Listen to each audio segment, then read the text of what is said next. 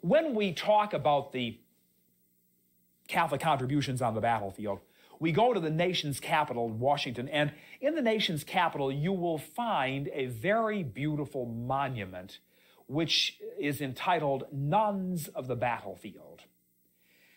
It is a recognition of the work of so many orders of religious sisters during the course of the Civil War. You could mention loads of religious communities of women who contributed very substantially during the Civil War, but we would want to single out, certainly, the Sisters of Charity of St. Vincent de Paul.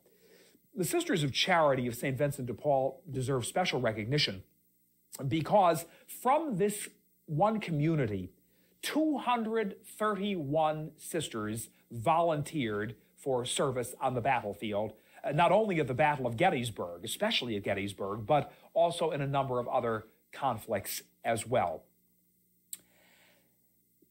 Also, if they were not serving on the battlefield, many of them served in what was known as the ambulance corps. Now, the people working in the ambulance corps would be those who would follow the troops in battle and go around to them.